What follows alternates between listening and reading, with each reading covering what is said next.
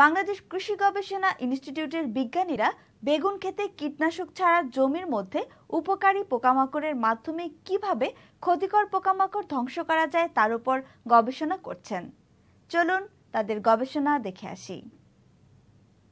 বাংলাদেশ কৃষি গবেষণা ইনস্টিটিউটের বিজ্ঞানীরা বেগুনের ডগা ও ফলছেদরি পোকা দমন ব্যবস্থাপনার একটি অংশ হিসাবে একটি ট্রাপ আবিষ্কার করেছে।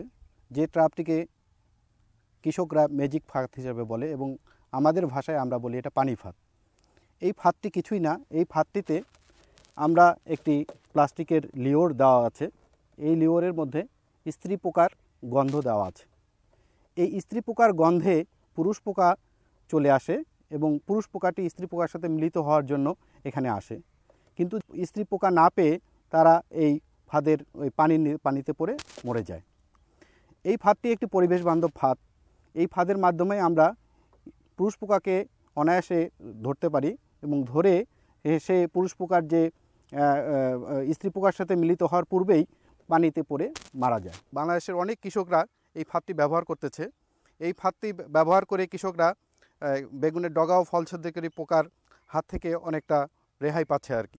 আইপিএম পদ্ধতিতে এই ফেরোমন ট্রাপটি ব্যবহার করে স্ত্রী পোকা, পুরুষ পোকাকে ধরতে পারতেছি এবং স্ত্রী পোকা যখন মাঠে এসে ডিম পারে ডিম পাড়ার পর এই ডিম নষ্টকারী পোকা হিসাবে আমরা মাঠে ট্রাইকোগ্রামা নামে একটি ডিম নষ্টকারী পোকাকে মাঠে ছেড়ে দিই।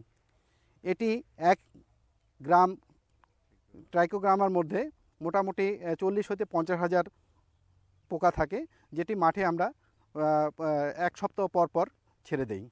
ইয়া ছাড়াও আরেকটি আছে, সেটি হলো যে লার্ভা নষ্টকারী একটি পোকা। যেটাকে আমরা ব্রাকন বলি, এক জারের মধ্যে প্রায় আটশো হইতে বারোশো, বারোশোটি থাকে এবং এটি এক হেক্টর জমির জন্য একেবারে এই, এটি দিয়ে মোটামুটি এক হেক্টর জমি কভার করা সম্ভব হয় আর কি এইভাবে আমরা অতি সহজেই বেগুনের ডগা ও ফল পোকা নিয়ন্ত্রণ করতে পারি।